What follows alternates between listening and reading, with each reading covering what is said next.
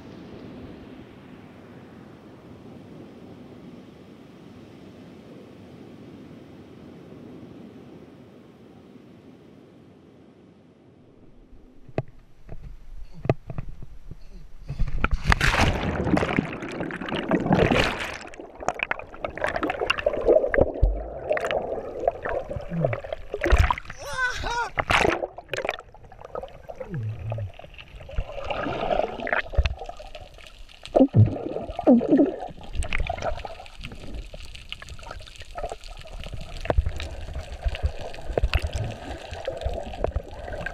you.